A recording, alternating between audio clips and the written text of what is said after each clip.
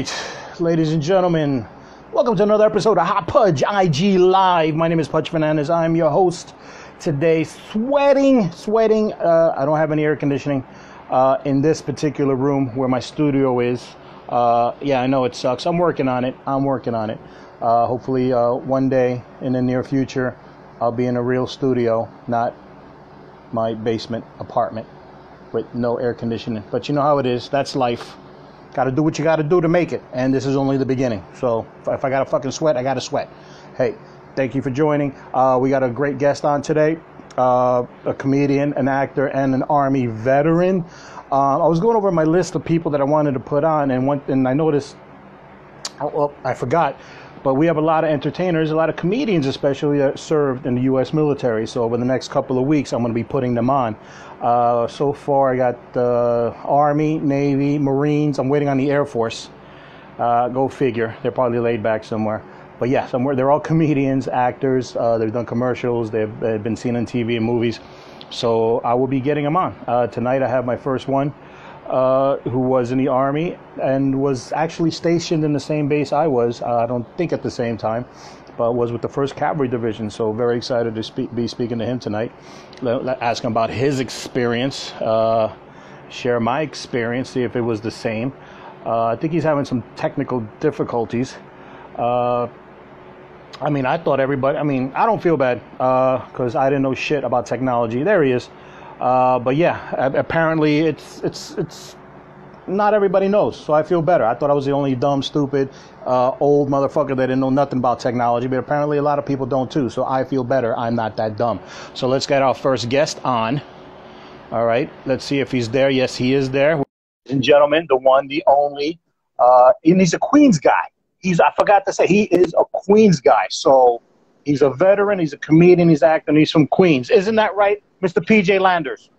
What's up, buddy? Thank you for having me. Thank you for being here, man. Let's hope Where the delay. Let's hope the delay doesn't kill us. No, not at all. Not at all. Were you having dif- uh, te- uh, technical difficulty? Is this your first no, one? not at all. Oh, okay. First time with you, or first time like on the internet? IG, I, IG Live. Uh, no, I've been I've, I've done a couple of them. There, I just uh, wasn't completely sure if you wanted me on exactly at the time that you said, which you did, which was oh. six o'clock. Sorry. Okay, all right, just checking. Because when, I when also, this started, right? I also like to uh, hear people talk to about me uh, on live when they don't know I'm listening. So that's great. Nothing but good things. Nothing but good things. All positive. All positive. I mean, I let everyone know especially the fact that you're a veteran. Uh, very cool. Uh, I've been focusing. Uh, I'm going to do a lot of interviews this month on uh, with veterans. There's a lot of comedians. I guess you're the first one, Army, and you were stationed in Fort Hood, Texas. Am I right? I think I'm losing your signal. Your your your signal's spinning. Your picture is frozen at the moment. If you can hear me. Uh, just waiting on a better signal, I guess. I actually, I don't know, might be around here. I don't know if it's you or me, but it happens. If you if you can, maybe log off and, and jump back on. Uh, that's, that's what usually happens. It's it happens from time to time. So Wi-Fi isn't perfect. It's pro- oh, ooh, I heard. I'm hearing something, but it's not coming through clearly. You might want to jump off and just jump back on. Oh, there, wait, is that it? Oh, that's it. It's a little, it's a little grainy. I'm a little grainy. How do you know it's not me? I've been inside for a while. Oh, there you go. Is that working? Okay. The picture, I can hear you. So that's all you need. Who needs to look at me for the whole day? All right, as long as I can hear you. Your your, your picture. Uh, yeah, your pictures, and it's almost like it's uh, it's a two second delay. But I see you with the shades on. You're moving. You're just kind of robotic. I gotta love technology. I can't wait till this shit is over, and we can like I can do a real live face to face, you know, like a podcast or something. I'm just gonna drive one block and see if it makes a difference. I'm on a weird block, but if you can still hear me, that's good. Yeah. So I can't wait for this to be over either. I did an outside show last week, and it was the craziest thing. You know, I've I've done them before, but because it was a How different outside feel? show. it was it was fine. You know, like I said. Fuck. All right, I lost the sound Am I now. losing Shit. you completely now? Okay, I got you back on. There you go. All right, I'll try. I'll try to get to a good spot and then pull over. Uh, I'm in right now. I'm in Brooklyn, about to see my uh, oldest uh, oldest uh, sibling, uh, my oldest kid. Okay. So uh, anyway, go ahead, man. What? Why do I tell me? You know, you you. Uh, how are you? Uh, everything good? You, you you. How's this this thing treating you? How's it treating me? Uh, adapt and overcome. That's how's it how's it treating me. That basically doing IG lives. Adapt and overcome. Got to keep the mind sharp. Not going on stage. Uh, not only adapting, but like recreating myself. Uh, different forum now. Uh, you can't depend on stand up anymore. You know. So I think we we all got a kick in the pants. You know what I'm saying? Yeah, man. Yeah, it's like uh, you know, even if we, you know, for the military people that are listening, you know, you finally got a good post, and uh, you got a good shift, and everything is good, and you you got weekends off, and all of a sudden they ship you off to fucking Alaska. Yeah, just like that. You get orders. Now, what years were you in? How I know was you that? in Fort Hood too, right? First Cav. Yeah, I was in in the the late uh, late '80s into '90s for a little bit. How is that reception? Is that good? Yeah, that's pretty good, right there. All right, I'm going to try to stop here for a moment. All right. What years All were right, you in? What time? Did, when did you get out? Yeah, so I uh, I originally went in uh, '87 through uh, '90. Okay. And uh, I was at uh, Fort Hood. I did. Uh, it was pretty cool. Whoa, man! It was pretty cool uh, originally. Like up front, everything was great. Like I, I mean, I, honestly, what happened was I had seen a bunch of movies, and maybe I kind of sort of thought I was going to be prepared for all of it, you Yeah. know. And I, I, I, I originally was at uh, Fort Sill, Oklahoma. Oh, okay. How many years So did you I do? went. Um, I did like the strange thing about it is I did a, a year and a half full time, and then a bunch of other time because my mother got sick, so I was in and out doing stuff in Oh. the city. I got I got like USO duty for like the last year of my. Oh yeah, it was. They really hooked me up. To this day, I have to thank them because my mother wasn't dying, but I was the only child, and some guy said, Right. "Hey, you know, you could get stationed in New York. Go to Fort Drum. Go to Right. go to Fort Hamilton." And Yeah. so I tried that, and because my my MOS was my MO- MOS was 13 Foxtrot, which Scout? is Fire Support Oh. Specialist. I, what is fire support specialist? I've heard that. What is fire support specialist? Okay, so all right, when I joined, I wasn't joining to like really get away from the world, but I kind of sort of was, right? I was I was at that point in my life, 18, 19 years old. So when the guy said fire support specialist, you know, I spoke first and said, "Oh, like is that like a fireman thing?" And this fucking drill sergeant said, "I mean, this uh, recruiter's like, yeah, yeah, you uh, you suppress fires on bases." I was like, "Wow, okay." So like, I I literally signed up for that, and about a month before we were going, you have to sign more paperwork. And I'm looking, I'm like, I said to this guy, I'm like, where where's it say about the fireman stuff? And the guy says to me, he goes, oh boy. He goes, he did it again. I go, what did he do again? He goes, uh, what did you think this job was? I go, I don't know, fire something or other. He goes, no, man, thi- this job is calling artillery fire to support troops that are ahead of the enemy. So my job is to go a little bit ahead of the infantry and ride with the infantry. Right. call Tag artillery You're the fire to- right. I'm You're, the guy. You, yes. Yes. You're that guy. So, you know, I do my basic training. So I, you know, I joined up anyway because uh, I was going to do uh, uh, NCO and I had all sorts of plans. And so I said, all right, right. I'll get in. I'll get in this way. Let me let me go through basic because if I don't do basic now in March. Uh, they said if I, you know, because uh, March in uh, Oklahoma is not so bad weather, but uh, uh, the later months are 100 and 200 degree weather. you know? Yes. Yes.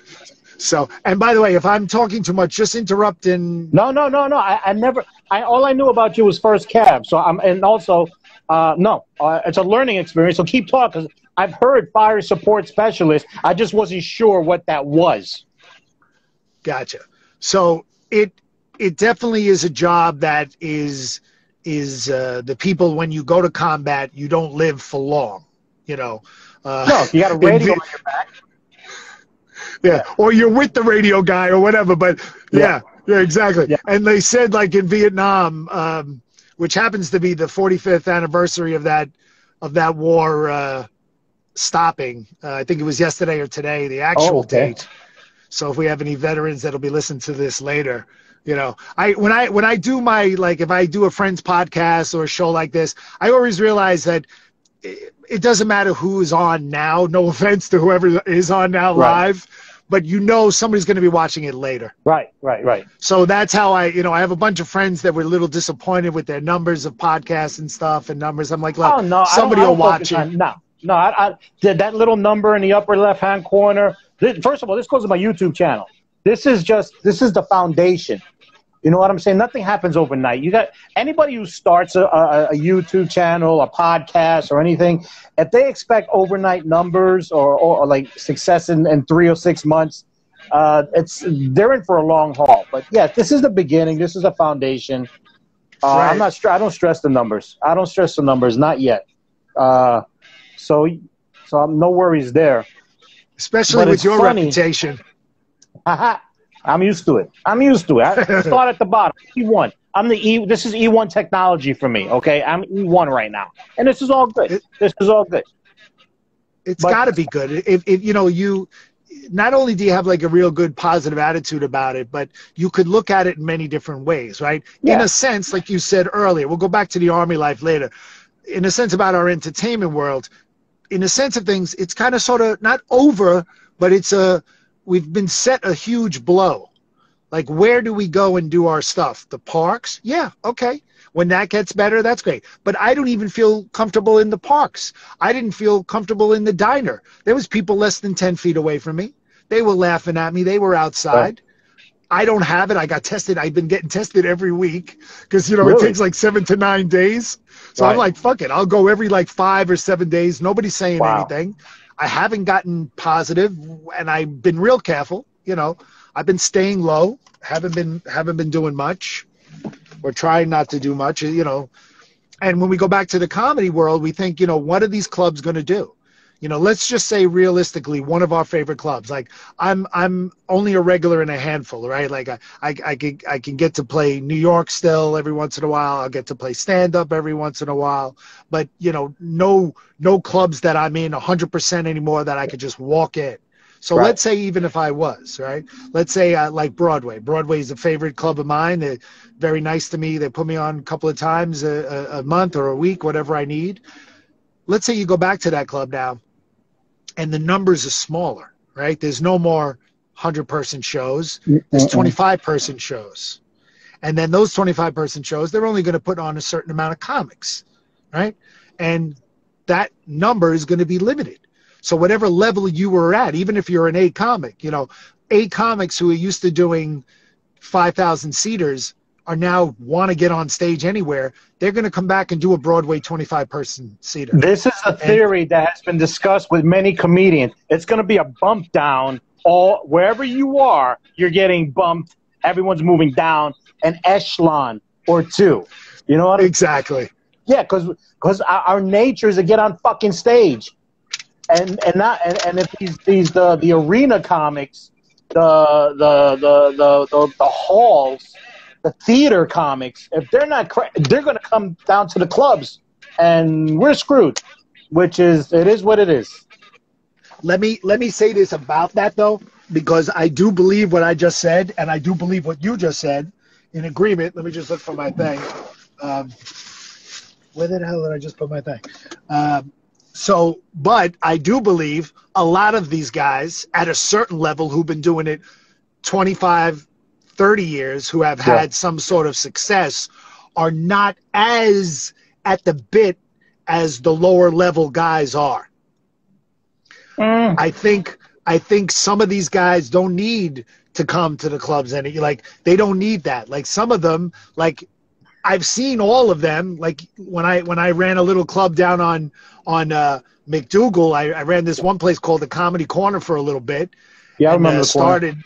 Yeah, yeah, I, I started the club for, for the woman, and, and, and, and we changed the name, and and uh, uh, Louis Louis C.K. was living in the neighborhood, and he was working on his his new his new thing. This was uh, 20 uh, whatever it was. Uh, let's say 2011, 2012, 20 something like that. Right. And and he worked out downstairs in a little shitty room for 15 people. So there are people that are going to want to do it, but there are Yeah. you'll see there's there's that group of people out there that are like I don't need this anymore. That craziness of Right. running to think- spots. Well, if they're finan- if they're financially set, that's one thing. If they have something else, if they already have a podcast, I think it's about the creative mind. If they have Hmm. something else they're doing, uh, could be a, a web series, a, a podcast, or or I don't know, fucking flowers in the backyard. As long as they're, but if they if if there's nothing there, then I feel like they're going to be yearning because it, it's it is kind of a drug. We always said it's an addiction. We're artists. We have to paint, and the stage is our canvas. So, yeah, a lot of them are not going to need it, but they're going to need something, and they're going to be. And New York has the most comics than any other city. I just see everybody. You know, you're going to see comics where you never saw comics before. You know what I'm saying? I just Yeah, let's see what happens. you see the shows that are out there. You know, people are taking chance doing, you know, stand-ups doing a whole bunch of shows in places. Uh, New York Comedy Club is doing pop-up shows. The Stand tried it. Yeah. You know, honestly, I, you know, all all all respect to these guys who are doing these these drive-in shows. I had immediately had looked into it to plan something interesting as soon as this happened in March, I immediately read into this. I was like, oh, this is going to be like this. Right. we should try right. to do outside shows. And I still have a pretty good plan of how it can be done. But I'm somewhat, again, if, if nervous is the word or apprehensive, more intense, is I don't want to bring a great show together.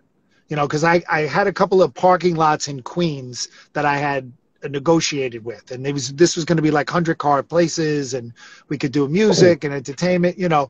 But then again, I was looking at my spacing and everything else. Even if I did it 50 cars or 25 cars, God forbid, at one of my shows, even if you brought it in and gave it to your own kid next to you, if it was known that, oh, did you hear about that comedy show that Yeah. did that?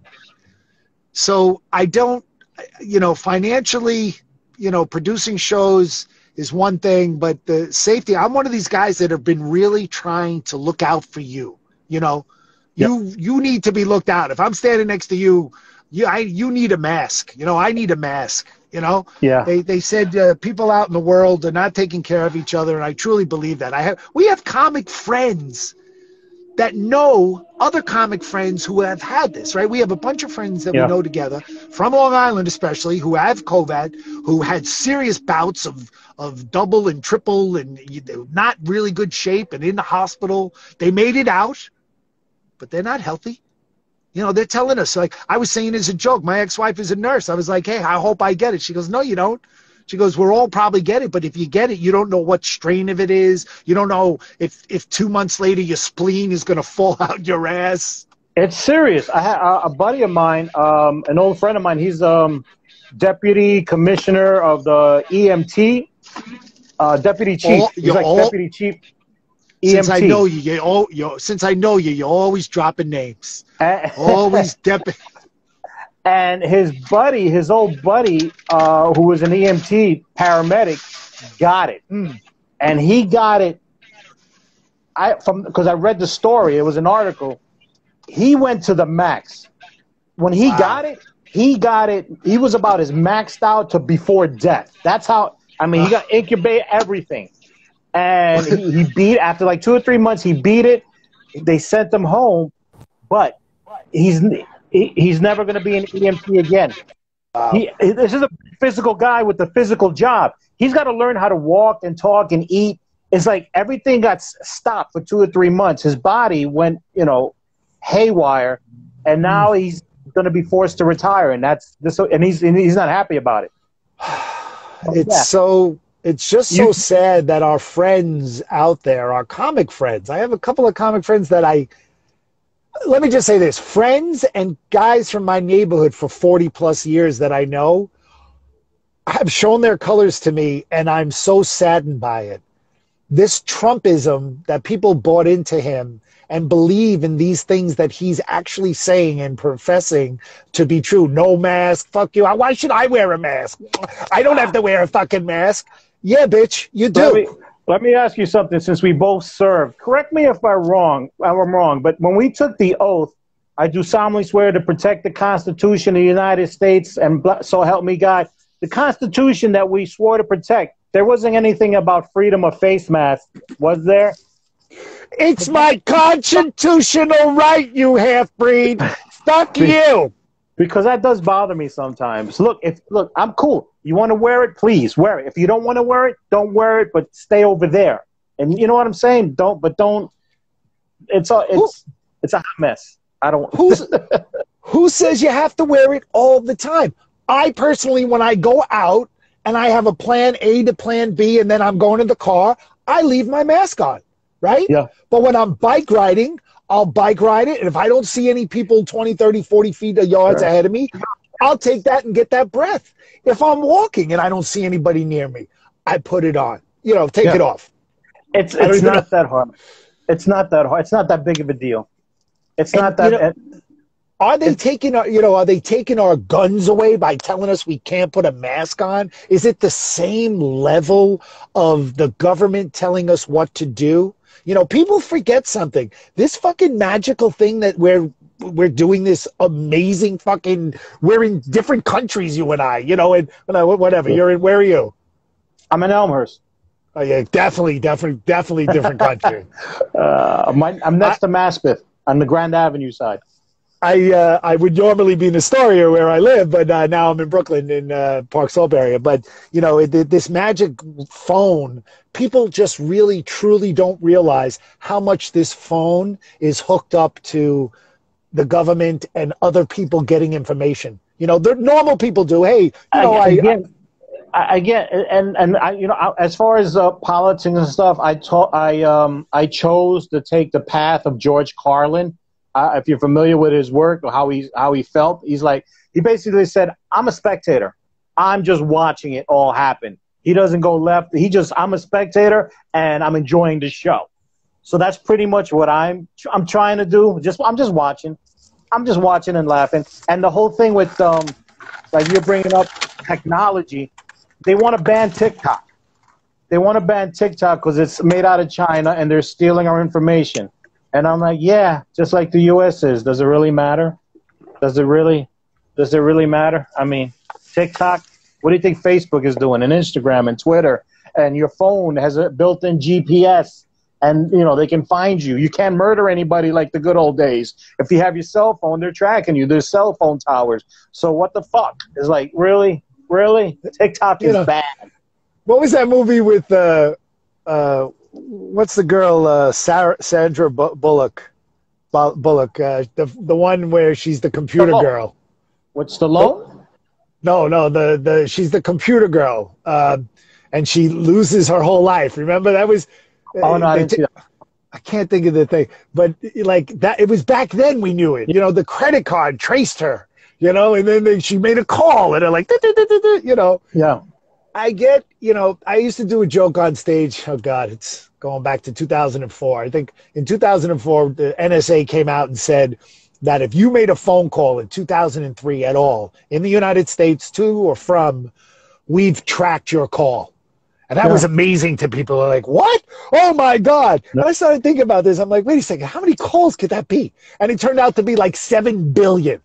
And there was no way to listen to any of those calls, you know? did did like- WikiLeaks drop that? Also, WikiLeaks. Uh, maybe that was something uh, yeah maybe that was the wikileaks also but th- th- that uh, yeah absolutely they, they mentioned that as well It's all intertwined. It's all there. it's all all there and, and it just it just reminds people that listen man they want you they got you you know i i, I got pissed off of uh, living with my uh, my ex-wife i used to get pissed off of like having a bunch of email passwords i'm like I don't care what she sees. I, I gave yeah. her the email. Like, that's it. You know, I want to. I, I want the password. My password to be dummy one because I'll never forget that. That's one I won't forget. You know, and and I don't care who knows because that's the thing, right? It should be like when you get your credit card robbed. Like my my PayPal got attacked for a couple of for a couple of things, and okay. they should just give it back to you, which they did so like people shouldn't even care. Like you want to infiltrate me? Yeah, go ahead, but don't you can't ruin my credit. You can't steal my identity completely. Like there there should be stoppage is to to these things, but they don't because somebody else is benefiting it from it. You know, even the company itself is, sure. is benefiting, but it's it, it all boils down to money. So yeah, they they can like I remember credit cards back in the day had the great idea of putting your picture on the credit card to to prevent theft because now you know they don't have to check for ID. They just look at your picture. Oh, it's you. There it. It's you. I'm like, wow, what a great idea. So what happened? What happened? How come they how come they took it back? What happened? Because there's people benefiting from credit card fraud. So you can't clean it up. It's like cleaning up what what would happen to the cops if there was no crime? What would happen to the sanitation department if, if we were completely clean? Which, by the way, I litter from time to time to keep them working. Not much, just enough. You know what I'm saying? So yeah, same thing. It's like you said. So yeah, it, it's all money based. You can't clean it up. That's it's you, technology. I, I appreciate what you're saying about the non politics thing, but you know, as a guy, I, I grew up as a, a single, uh, no no brother and sister, no father, and just my mother and I and my mother uh, was a very powerful woman. You know, she was 5'10", solid, 180 pounds, very tough woman, but very elegant at times. But when she wanted to tell you you fucked up, she would tell you, you know, backhand and or with her mouth. And she got me into politics. She was a woman that was running around like with Bella Abzug, who was a very famous councilwoman in the in the 70s, and she ran for Senate and office and I got to be around these people and I got to hear what the I realize in a sense all of politics is bullshit. Yeah. It really is. It's like somebody saying one point, the other point is this yeah. and that, and then whoever gets hired for those four years, we hope to God it's working out. You know, I personally with this guy, I just wish, you know, I, I, I another quick joke I did was which was I didn't he didn't even realize he was going to win. You know, he had yeah. no idea he was going to win. Yeah, you know? I know. The, he, he, was just doing it. The, That's all it was, publicity stunt. That's it. He was doing it. You know, the Illuminati had no idea he was going to win. You know, because if he did, this guy would have been executed already. You know, they had no idea it was going to be such a thing. Yeah. But even now, even now, I wish he would pull an LBJ. Uh, and and just decide not to run. Don't accept the party's nomination. Let them find anybody else, anybody else, because this guy it's going to be a lame duck thing for the second year and all that. Yeah. And I just, I guess we all need a break. You know, it also is kind of sad to see a bunch of our friends, people who still love the flag, the yeah, yeah, the yeah. Con- Confederate flag, Confederate flag, and still believe that certain people like. I'm not a Black Lives Matter guy in the sense of I believe everything they're doing is right. I believe those words, Black Lives Matter, it's a very specific thing. Yeah. It's not even all. It's not even all black folks because it, it's a specific group of people who have had these interactions with the police. Yeah. So it, it, it, it's and, and I know some of my friends are going to say, well, what do you mean? How do you decide who's what a level? And I think people understand kind of sort of what I mean. I, I know friends who wear suit and ties who are black dudes that are getting pulled over. So it doesn't matter. Yeah. A cop is, but with these things, with the Black Lives Matter and, and, and understanding of the cops, you can't defund the cops. You have to refund and, and, and, and, and teach them different things. I teach hate that how, term. I hate that one? term, defund the police. I feel like it's an intentional term they put out there to stir the pot on both fucking sides. Because there it, it, does it has no meaning. There's no substance. It's like here you make something out of it and everyone flip the fuck out. Defund what does that mean? There's no there's there's nothing there. Just leave it up to the people's imaginations. Here left run with this. Here right run with this defund the police. No, it, it, it's not. A, it shouldn't be defund. It should be okay. Uh, take a step back, recalculate, reorganize, re re re restock, re you know, just fix, uh, readjust. You know, eh, that's what it is. Should be readjusting, re-educating, uh, not defunding. Uh, maybe a few refunds, whatever, whatever. But it's not this whole blanket defund the police. That's a crock of shit. And and what happened was the the government, the the the De Blasio, you know, they had these numbers planned for cuts, if you would, um, even before all this shit was happening. So for mm-hmm. them to take away a billion dollars, it does take stuff away from the cops, like a bunch of overtime. There's like a lot yeah. of things, and also yeah. the ability to do things. Like you know, maybe a cop won't go that extra mile, possibly because he knows if he does, he's not gonna. There could be different, but what what De Blasio did with that number is, like you just said, that number is make believe. That number is not really taken away completely. It's going to be used PAL here and there. It's not like it disappeared. Now, when people say defund, I want the cops to be trained more. I want yes. a guy to be able yes. to put me in a chokehold without killing me.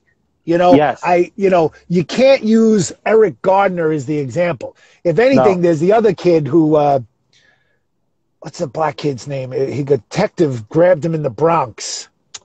Damn, I'm sorry to him. The Puerto Rican kid. The Puerto Rican. Yeah. What's his name? Uh, no, no, I forgot his name, oh, but he was the oh. Puerto Rican, kid, the Puerto Rican kid who died. Actually, the, the, yes, I remember the story, and I was puzzled because when after Eric Garner, they were saying that oh, the chokehold is illegal now. I thought they made it illegal back then. It was already illegal. Well, they, Here, made it illegal again. Here's what it is, and I don't know this for fact, but, but just because you're reminding me of the story. Yeah.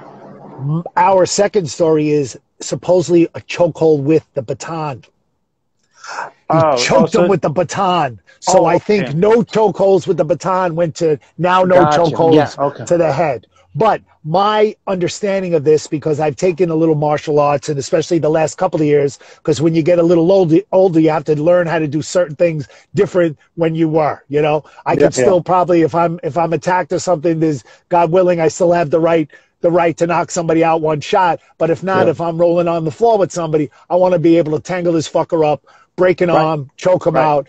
Cops right. should be able to do that. Cops should be able to choke out me, God forbid, one of my kids who is having a psychotic episode without killing them, without them anybody getting hurt. You know, like you see so many things of cops. The poor guy who got shot at the Wendy's, you know, two cops had no idea how to control that guy. You know, they had no yeah. plan. Like they, they st- stumbling over each other, and you know, God forbid that guy was trained, right? God forbid. Go ahead. Yeah, no, I sound like a. No, no, I, I totally agree. Here's the thing about it. there's no structure. There's not there's not not only not enough training, not the right training. And I always go back to the military. And somebody made a good point. It was a veteran who was overseas in Iraq made a good point. How the hell does an 18 year old kid with a rifle in a country where he's hated and he's surrounded by armed people, how does he have enough control and discipline and uh, follow orders? Don't fire unless fired upon. How does an 18 year old kid have more discipline than a police officer here in New York? That's number one. And number two, I mean, I, again, I don't hate the cops. I want, I just, I want them to receive the proper training. I want them to kick ass accordingly. But uh, example, uh, if you go to Asian countries and even some European ones, those cops they're hand to hand qualified. I think in Japan they have to take six months. They're they're they're a perp, they're brown belt minimum. I think in Japan and some Asian countries they're brown belt minimum. So there is no fear uh, so because they they're, they're confident in their training, and I think that's the problem with police officers. Um, let me let me add to this because you know sometimes sometimes I think like you did when you just mentioned about George Carlin. I, I honestly think the same thing. And when I think about my mother and and the, the the rallies I've been to and the protests I've been to, sometimes you just feel it doesn't it doesn't make a difference. Yeah. Who's listening? You know, like yeah. in, in 2004, I was, you know, I, besides the million jobs I'll, I'll, talk about as we go through this podcast, one of the jobs was I, uh, I have to drive back to this other area. One of the jobs is I was a photojournalist. You know, an actual press photographer. If you go I- to Spot, I saw your videos. Yes. yeah, yeah, you saw this right, right. I sent you Yeah, stuff. If you if you go to spotnewsvideo.com, you'll you'll see my my work. And um, if we kick out for a minute, I'll I'll be back in less than three or four minutes if we do. I just got to go back to this other area. But the uh, you know to, to see like in 2004 the protests are the ones that are now, you know they're all the same. They're all people just dissatisfied with the system, both sides of the system, the the craziness. Like when you look at our lives now, you and I and all of our friends and family, and we and and we sat down and we showed a movie of 1968. Be watching the same thing. I could be showing you the same thing. War, people in the streets yelling, racial, you know, cops versus blacks, blacks versus everybody, you know, a a a, a, a uh, actual election, a presidential election happening all in this same freaking year. How did any and, and on top of it all, the COVID, which has never been seen ever in this in this world. It's like a triple shit, quadruple shit sandwich from every direction. It is. You went you went to Mexico, and not only did you drink the water, but you you drank you drank the oh I don't even want to get too nasty. It's it's it's a family No, you show. drank the water, then you slept and ate out a 50 year old whore. That's what you, you just, you, and, and, Go ahead, go ahead. and, and, and Wa- then went to- Waddle, Waddle, excuse me, excuse me. First of all, we have to say, oh, hello there. We have a fan out there today. We have a, uh, Beatnik Nooknik. Uh, Jordan Ferber's a, a guest. Hello there. And hello to our other guest, Coach, Coach Frank. Frank. Cool. So um, the uh, the uh, also the uh, uh, the old lady uh, while she you're eating her out, why is she shitting? and then you went to Taco Bell drive through on the way home. so yeah, it's that's that's how much shit is happening right now. That's why I'm like, you know what? Uh, thank God I, I have therapy and I go to anger management classes because it's really helping me a lot. Uh, even Are my you- wife says it- I'm too calm. is that true? You've been going on therapy online? Uh, no, no, the VA, the VA. Oh, hold on. Mm, Lost you, lost you, lost you. Hold on, hold on. Are there Taco Bells in Mexico? Hilarious. Uh, somebody picked that up. I don't know. Uh, that's a good question. That's funny. Are there Taco Bells? You know what? I wouldn't be fucking so. I bet you there is. It's got to be near the tourists. There's got to be a taco because it's comfort food for fucking Americans who don't know any better. Uh, an American would be stupid enough to go to a Taco Bell in Mexico. So yeah, yeah, I, I would I would say it would probably be near. There would have to be a Taco Bell, but it'd be like a, a touristy location or somewhere like Puerto Vallarta or some shit. PJ, you there? I lost you for a sec. I'm there. Can you hear me or no? All right, PJ. PJ's driving. You there? You there? I'm there. I'm trying to uh, get to a spot where I can uh, get clear again. All right, I got you. I got your audio, so that's good. Don't worry about that. Keep me on the audio at least. Hold on a sec. Let me just. Uh, Go ahead. Go ahead. Go ahead. Do your thing. Do your thing. Look at you on the move in Brooklyn. What is that? Beatnik. Yes, Beatnik. No, because I seen it. Because because like like why like uh, because I drive Uber in the city, Beatnik. And here's the thing: you're you're visiting. You're a tourist visiting New York City, the most diverse city in the country, with every possible type of food that you can ever imagine is here, fresh. And what do what do people do? They go to Olive Garden in Times Square. Okay, because that's I, I, I'm- some Americans, not all Americans, but that, they just need their comfort food, and that's why there's an Olive Garden in Times Square and a Red Lobster. And when I ever, whenever I drive people, I, I plead with them, please don't fucking go to what you already know. I said we got a Chinatown, we got a little Italy, we got a little Korea, we got a little Brazil, we got a little India, and if you go into the boroughs, you get the Dominicans, you got the Puerto Ricans, and then you got the Colombians. Forget about it. Uh, but some people, uh, that's why they call it comfort food because it's they feel safe and they're and they're afraid to explore and try different things. But hey, that's just them. Me, I like it all. I'm waiting to have some bear and snake one day. I haven't found a place that serves that, but uh, hopefully one day. There's a little less. There's there's less of Little Italy than there used to be.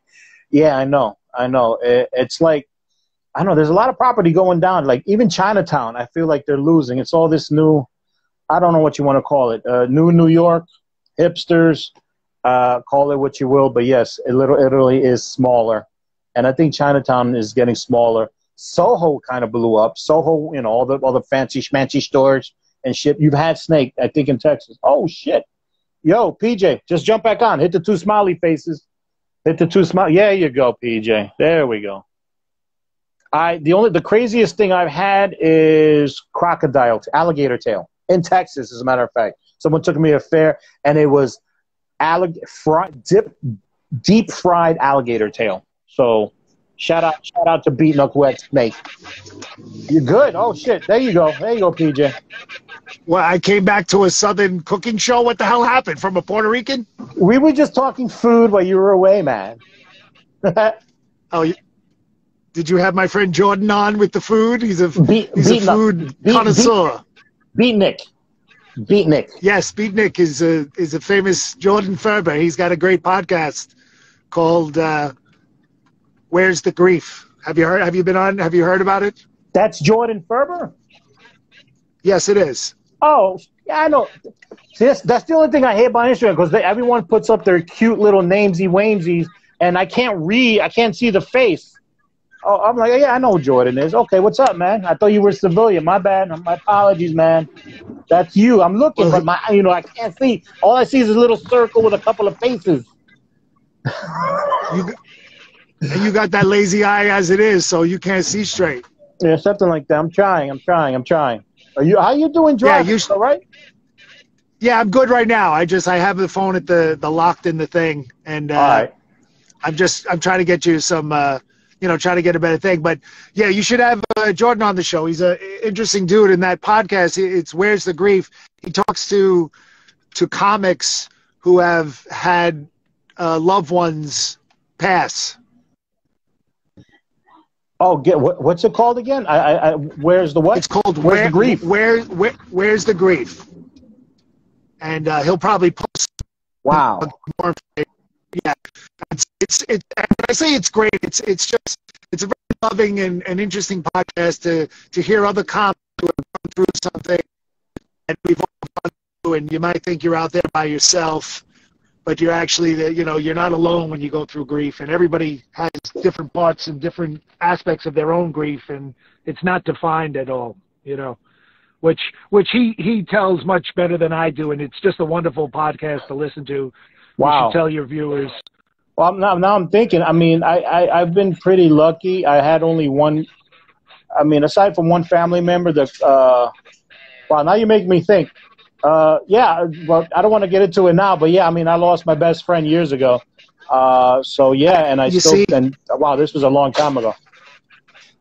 Well, let me let me just say that because I'm just reading the notes. It's it's you know uh, he uh, he also interviews different people. It's not just comedians. It's just very interesting people who have had had loss. But with what you just said, that's what happens sometimes. Like what I just did, and I hope it doesn't trigger you completely. But you just said that you maybe not even have thought of that person in a long time, and now you know you talk to Jordan, you start thinking about this friend who you lost and how you lost it just becomes an interesting talk, you know, and especially now that you're in therapy at the VA. Yeah. Um, how, how, going back to your little story, how long uh, were you in the military? Uh, well, and I I know your and I know your viewers know. I'm just trying to. You give me a quick quick thing. Oh no. Uh, well, I joined in '93. Um, funny story about your recruiter. Um, I, I must have been. I was like the. Uh, my recruiter must have got an erection when I walked in, because I went in there like you, seeing a lot of movies. I thought I knew what I wanted, and I told him infantry, and he just smiled and said, "Yeah, no problem." Uh, there- So what happened was um, I knew I wanted to join. I knew I wanted to be tough. I wanted to. T- I wanted a challenge, and I actually stepped into the Marines first. But the Marines told me that it's a four-year minimum. Now I. I was I was about 19 to going on 20, and I had a bunch of friends in the military. So I did a poll, and but the poll came out 50-50. Half of them said "Oh, no problem, and half of them said I can't wait to get the fuck out. So when the Marine said four years, I'm like, what if I don't like it? That's a long time. So that's when I went to the Army and I said, infantry, you got it for two years. And like, yeah, we can give you infantry for two, no problem. So I was like, yo, let's do it, rock and roll. And so we did. Where I got screwed was you see, I follow the movie. Well, that's the infantry I had in mind. What, what movie I, uh, did you watch? Uh, uh, Platoon, of course. Full Metal Jacket, top two. That that was that was my era. Full Metal Jacket and Platoon. So that was the infantry I had in mind. What I didn't know what the, was that the infantry was divided into different uh, parts of the of, of the infantry combat system, right? Ar- armored, armored, and so I get the I get the Fort Benning, and they're like, "Okay, Ooh, you're, you're you're walking." They go, "You're 11 Mike," and I'm like, "What's 11 Mike?" Ooh. Mechanized infantry. I'm like, "What's mechanized infantry?" You ride in the back of a. What's a Bradley? I'm like, "What the fuck?" and and I, it turned out I was mechanized infantry, and I was like, "Oh fuck." And, and I had no clue. And the funny thing is, after I signed my papers with the recruiter, I remembered late, holy shit, I want to jump out of an airplane. I want to go airborne. So the recruiter's like, don't worry about it. When you get to your duty station, just request. So I get to my duty station, Fort Hood, first cav, and I'm like, yo, can I go airborne? It's like, yeah, as long as that Bradley fighting vehicle doesn't jump out of a plane, neither do you. There's your answer. I'm like, oh, fuck. So I was mechanized infantry for two years, and then I reenlisted for two more in Fort Hood. So four years in Fort Hood, and then I came home. Wow! And then I came home and National Guard and did the infantry I wanted. I uh, they because I said I want to go to reserves National Guard. He goes, "You want mechanized?" I'm like, "No, I want regular infantry, straight leg." She goes, "No problem. We have a unit in Queens, in Jamaica." So I was like, "Wow, Queens, that's me." Boom. So I did eight years, uh, four first cav mechanized infantry, and four National Guard, uh, first and 105th uh, infantry out of Jamaica. Yeah. Yeah. So eight years. Yeah, I'm there. Yeah, I'm here. Good. Eight years. Okay. Yeah. Yeah. That's. Uh, had gotten lucky and did some rappelling right before I went in, and I figured I could do air assault. Yeah. And they said the same thing to me. When you get to your post and uh, I I applied, and we were going to Reforger, and the guy said, "Yeah, maybe in the spring you could go," and then you know it was it's, all it's, it's all crap. But it's a hard lesson, and we we learned the lesson in basic once you got to your platoon with the drill sergeants and everything, because now we're talking amongst each other, and everyone it's it's it was it was hilarious. You got 40 guys in a platoon, basic training. We're all talking to each other, and they're like, yo, I'm an E3. How'd you get E3? Yo, I'm an E4. How'd you get E4? Yo, I know where I'm going. I'm going to Kansas. How the fuck do you know where you're going already? Like, I got a bonus. I didn't get a bonus. I, I got this. And everybody's going nuts. I'm like, what the fuck? It depends, yo. It depends on the recruiter. It depends on luck. And, and with the most valuable Everything. lesson, if it's not in the contract, it's not guaranteed. Exactly, man. Who knew at that point everything that you just said? You see, these are the type of things we want to help people, you know, by teaching them this. You know, that, should be taught this. They should be, as my Joe Sargent would say, they should be learned this and and and understand that make a little deal from themselves because there's most of yeah. these kids are doing it too to get out of the neighborhood. The 17 year old guy in, in Andalusia, Alabama, if he doesn't do these three years and get enough money for college, he's going to be working in the factory somewhere, which is probably not even existent right now. Yeah. My my story similar to you again is you know I went into the army like I said in '87. So in '86 Platoon came out, I went to see Platoon, and I love Platoon, and I I love the music, the era, the whole thing, and and I was watching it, and then when I did my basic training in AIT and I come out of it, I went to see Platoon again and I understood every single thing that these guys yeah. were saying. And, and like we talked earlier, yeah. my, my, by the time I would call, like in the movie, by the time I called for fire, 13 seconds later, I would be dead. Yeah. I'm the yeah. guy. If, if anybody's a big fan of the movie Platoon, I'm the guy when the when the when the colonel goes, just I'm gonna light smoke. Just where the smoke is. I'm the guy the going, they're all over us. Yeah, yeah. I'm surrounded. yeah, yeah, that's you. That's you. That's, that's me. You. That's me you know that yeah. but again you know the the same thing with these recruiters you know they i wish we could tell these kids but You know, the military now, I would not want Yeah. either of my children to be in the fighting part of the military. Yeah. Okay? I- if I if I had a choice, both of them, you know, they're both computer uh, very computer literate, so I would rather both of them be behind the scenes. You know, do I want them, you know, Yep. I hate to Just- say it like this, do I want them in in in, in Vegas controlling a drone, killing people in Afghanistan? No, I don't want that on them either because I don't know if you going back to my journalism and my documentaries i don't know if you saw the other one about the uh, the 9-11 that i sent you but I, i've met a lot of people that have gone to combat. Yeah. and none of them you know i say to them oh well i i've said this foolishly foolishly in the past so i'll say it as foolishly as i did back then not as i know it now but just so you can have the understanding.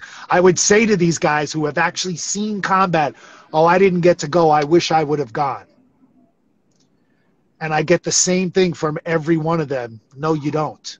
You don't want that. I kind of feel like go- that too. I have, I have. That's how I felt. That's how I still feel, in a way. I know Well- it's stupid. I, I, I agree. It's stupid, but in a way, it's a mind fuck to train for this shit. And here's the thing with me: I got out in the spring of 01. I got out in the spring of 01, so I was still fresh. A couple of months later, the shit hits the fan. I'm st- and I'm tweaking. I'm tweaking, and I could. I know I could have went back, but I mean, I had my kids were, and I was in a separation at the time, so it was just a, a father decision. Other than that, I would have went.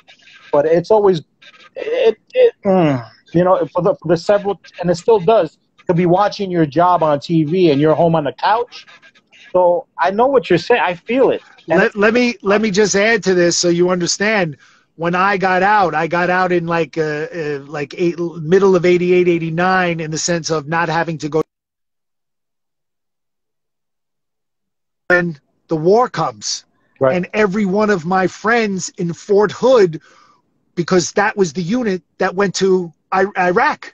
Yeah, They went Fort Hood to Iraq. That's Yeah. what, and most of my friends went there, and I was getting messages from people. So when you talk about tweaking and all these other things, Yeah. I get it. You know, when you Yeah. get trained for it, you think you're going to be invincible. Like I, I was training with guys, and here's another example. Going back to what you were saying, the first day we we we got to basic training, there was like eight of us because the rest of the people hadn't gotten there yet.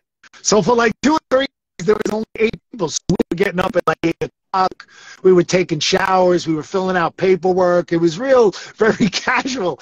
And then like the next morning, we had 50 people in, and things changed. You know, I I remember saying, "Good morning, good morning, drill sergeant," and uh, "Good morning, Reg. How you doing?" The next day, I was like, "Good morning, drill sergeant," and he gave me the fucking "Don't you ever fucking." T-. I was like, I, I became a mo- I became effem- effeminate. I was like, "Oh my god, what happened? I thought we had something." but Rude when, you know, when when when when these guys, when you- when you go out of uh, when you go out of training, so now uh, I knew all of these guys. All of my friends were going from Fort Hood to combat, and Yeah. and shit was actually happening. But again, I literally have, have I talked to a bunch of guys from the Fighting 69th during during the the uh, those years. I had interviewed guys at the um, at the um, armory on um, Long Island. um, you know. No, no. The Fighting 69th is in Manhattan. It's the, one of the most Oh, famous Lexington units. on Lexington, Lexington Avenue. Yeah. Absolutely right. Co- copy on that. And and it's a famous unit. And it turns out that two of my mother's uncles, because uh, she didn't have any uh, brothers and sisters, so it's like step uncle or great uncle to me. Two of them were stationed at the uh, at the armory during World War II Wow. uh, for me. So I had a lot. So I, I I hung out with these guys, and I actually got approved to be embedded with them. I got approved after six months of of doing this to be embedded with them in Iraq because they were doing a security post. And Wow. a month. Yeah, man, it took a, it was unbelievable. I was getting mentally, physically. I had done retraining. I was working with a couple of guys who were uh, drill sergeants, and they were putting me through the routine so I could be Yeah. physically and mentally ready Right, to to do the combat and film. You know, uh, which would have been my only thing. And uh, about a month or so before, I don't know if you'll recall this, the Fighting 69th fired upon a jeep that was coming to their post they fired upon this Jeep and killed everybody in the Jeep. And the Jeep turned out to be a photojournalist who had been kidnapped and released, and then a couple of Italian guys who got who who were there, and they killed everybody. So they stopped all of the all of the things, all Yeah. of the uh, embeds. But Wow. I got to be with them during their family times, and I got to know these people. And over upon over over and over, guys and a couple of chicks would say to me, you know, it was the worst thing. You know, I know I'm going to have memories forever. You know, I have a couple of guys that, you know, allowed me to put this on camera and I said to him, "Well, tell me, just tell me about it." And I have the stories that I'm sure that you have heard and and and you know, it's important to listen to veterans. If you're a veteran, there's a thing like you and I might be like, "Oh, we're not going to understand because we're not combat veterans." No, bullshit Yeah, no. we can help another veteran. If Yeah. a, if a vet, you know, I see guys getting hurt, you know, hurting themselves because they have nobody to talk to, you know. And guys like you and I, even though we didn't serve, we can help a vet. We've gone through basic training. We've gone through the military understanding of things. PJ, Yeah. I want you. This is going to cut off. Okay. You got Uh, it. Buddy. no, I'm no, no, cut off and, and jump back. On. I'm going to cut you off and then jump back on in two